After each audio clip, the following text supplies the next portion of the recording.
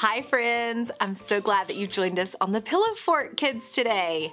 I have been doing a little bit of collecting all of my ornaments and my little nativity. Look at this baby Jesus. Now that Christmas is over, I've been kind of collecting all of my gold ornaments. I have a gold ball, I have a gold pine cone. Let's see what else I have in here. Look, I have a cow and a gold guitar. Oh, gold is so fun. It reminds me of our Bible story from today.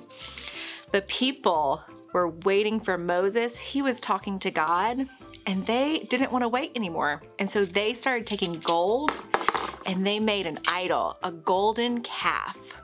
That was not a very good choice. Let's open our Bibles to Exodus and read more. One day, Moses went up a mountain and God talked to him. Moses was on the mountain for a long time. The Israelites were tired of waiting for him to come down. They told Moses' brother Aaron, We need a God to lead us. So Aaron made a gold statue of a calf for them to worship God. God saw what the people were doing and he was angry. Moses rushed down the mountain and destroyed the golden calf. The next day, Moses went back up the mountain. Please forgive these people, Moses said to God.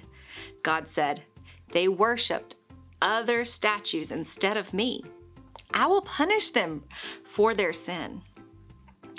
God gave Moses more laws and instructions. God said, The Lord cares about his people. He is good to them, but he will punish people who do wrong. Moses worshiped God. Lord, please go with us, he said. Forgive our sins and accept us as your people. Moses talked to God for the people.